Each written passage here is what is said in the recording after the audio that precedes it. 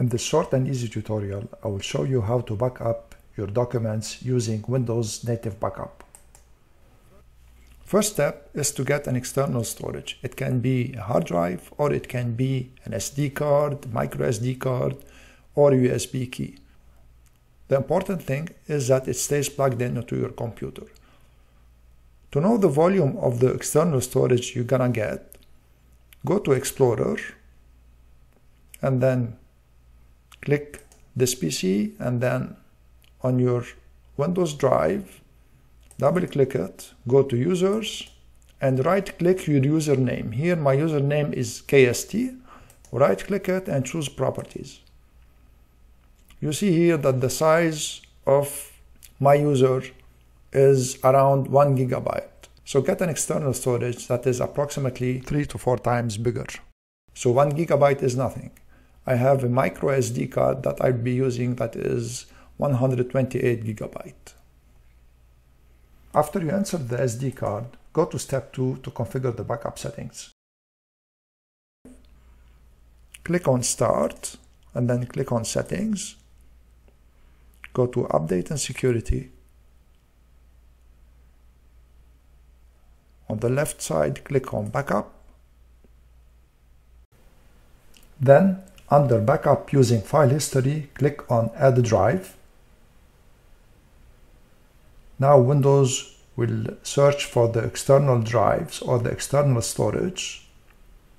You will see it will find two external storage. I have a USB key that I will not be using, the first one. The second one is the SD card of 128 gigabyte. I will be selecting this one. When you select the external storage you want, the backup will be turned on automatically. As you see, it says automatically backup my files and it's turned on.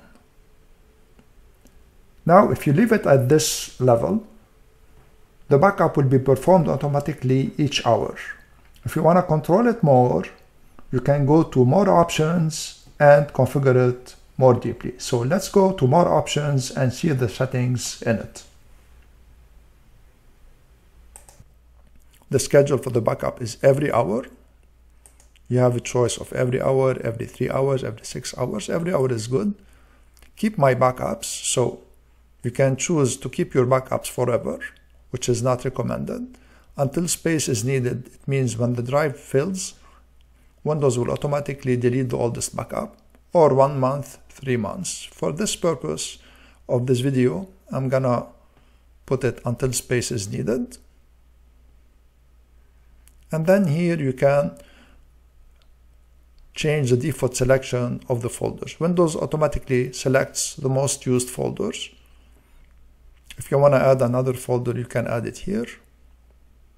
And this is to exclude the folder. Let's say in the music, you don't want to include another subfolder. You can explicitly exclude it here. Let's click on Backup now to perform an initial backup.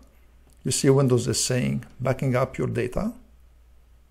So now the data is being backed up from these folders to the external drive I selected. When the backup finishes, you see here that it puts the date and the size of the backup. It's not a big backup because this is a user that doesn't have many files. Let's say now you want to change the drive of the backup. To do this, always in backup options, you should go there and click on stop using drive when you click on stop using drive, it will stop using it, but it will not delete the backups on it, of course. You see the backups stay there. And you designate a new drive. So you go back and you click here, add a drive, once again, and you do the same steps as we did before. Let me show you now how to restore a file or a folder. I will simulate that we lost a file